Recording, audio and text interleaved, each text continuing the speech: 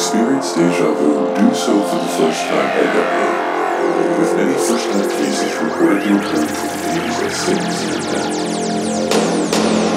However, the most common time they have deja vu experiences is in adulthood between the ages of 15 and 25.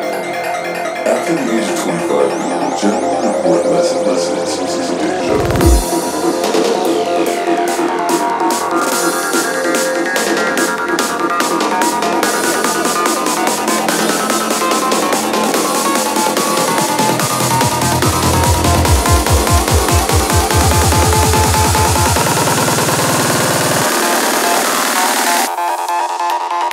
After the